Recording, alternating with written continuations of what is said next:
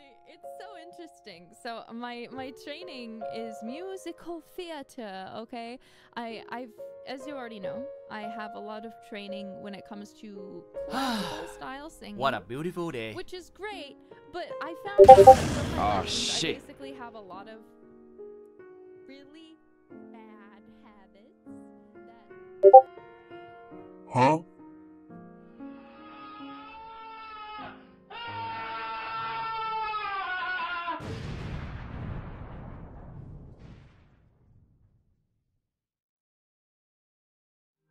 October patches have always been full of surprises. What? Well, this time, more than whatever happened during the last year. We got new additions to redeem regions, be it enemies and areas to farm, potentially some new gears to chase, lots of quality of life changes across the board, because why not?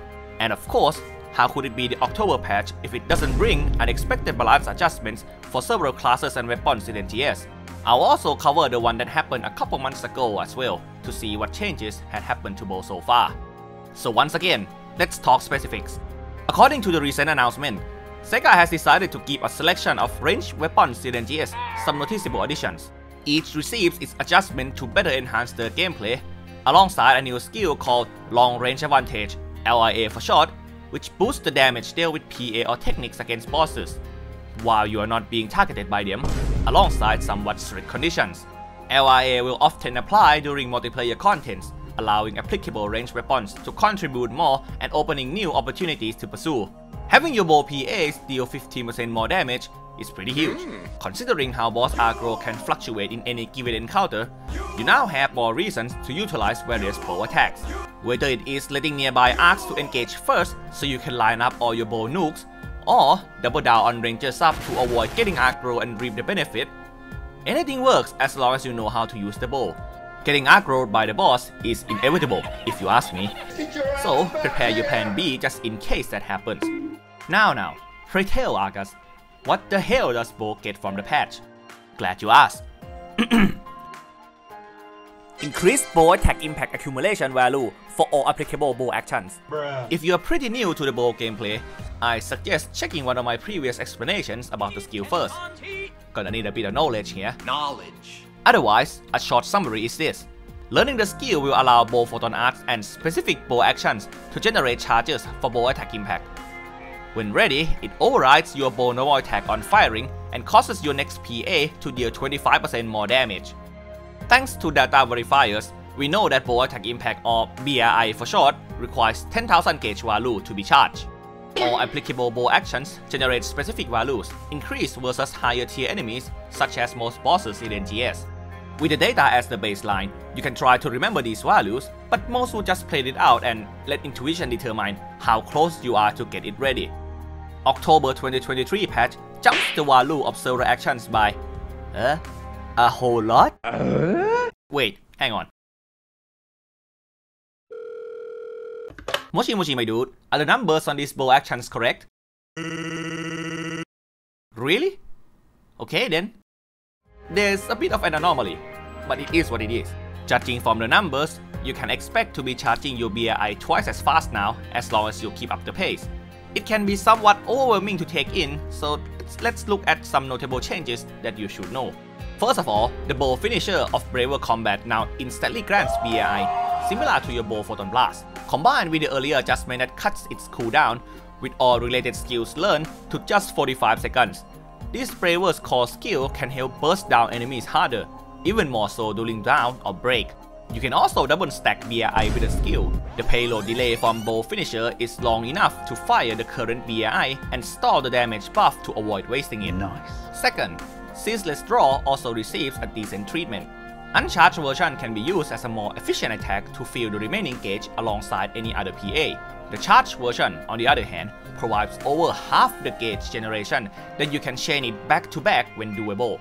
Third, Dimensional Ray gets a massive bump, especially for its uncharged version. Huh? As long as you can keep the target in its area effect, the PA can quickly accelerate your BAI accumulation to have it available in a very tight moment. Fourth, the adjustment on Charge Frenzy Fireworks combined with Dimensional Ray can almost instantly generate BAI in a heavy mobbing scenario.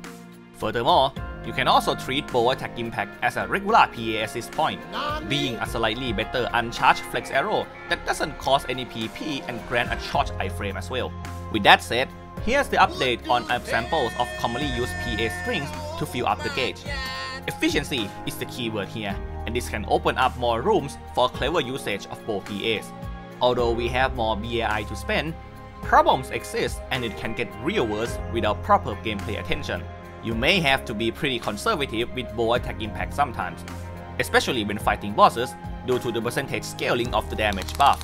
Even though you can dump it on whatever PA that crosses your mind, spending it on the right PA at the right moment should yield more output in the long run. The faster BAI timer can also feel weird Oh no. and can arrive at a very undesirable moment. You will need to be more precise with your attacks. Your priority will get messed up a lot. You will have to improvise, ignore countering moments, or even perform the unthinkable. To the point that it causes discontent to some, or even feel like the adjustment barely does anything to bow at all. It is still a noticeable indirect damage buff for the bow, no matter what. In the end, you will be the one who decides on how far you would go with bow attack impact accumulation and utilization. Remember the good old combat chart shown in the other video? We can slightly adjust it a bit better to fit this pad. Throwing flashbang. Hmm, much better. What? It might seem overwhelming and there's a bit of strangeness here and there. Let me explain more. First of all, if you have seen a couple of bow gameplay showcases, you realize that the weapon has been abusing Encore Jump for quite a while now. Although it provides most charge-centric weapons and unignorable above damage in some scenarios, it is an extremely niche tactic that only applies to a few bosses in NGS. Therefore, if the target allows it, you might want to learn how to incorporate Encore Jump to bow gameplay to crank out DPS in a very strict, time-constrained encounter. It will feel uncanny at first, but you'll get used to the move eventually. The second is just the usage of katana. Sure, the goddamn weep-inducing weapon is still the face of Braver, considering whatever happens since early Kvaris patch. The blade has faced its highs and lows throughout the days. No one can deny that the katana can do well when the boss plays into its strength, getting fast counter chains and finishers.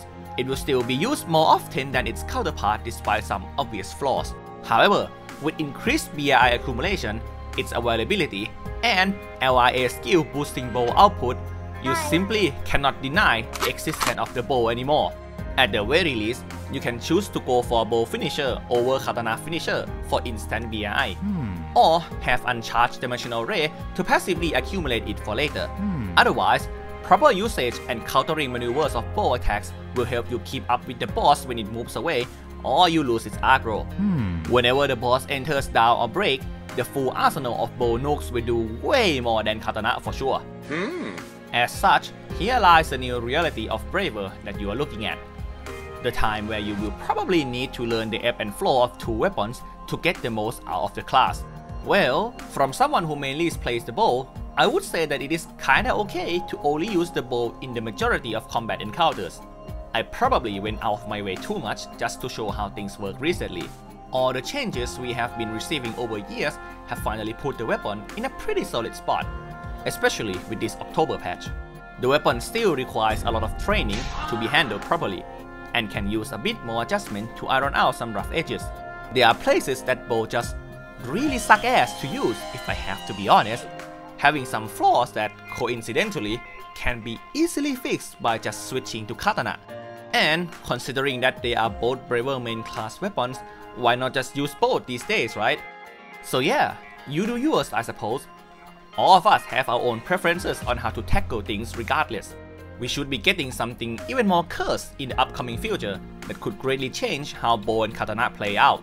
But for now, it's definitely okay to rely more on the bow attacks being a braver. Have fun!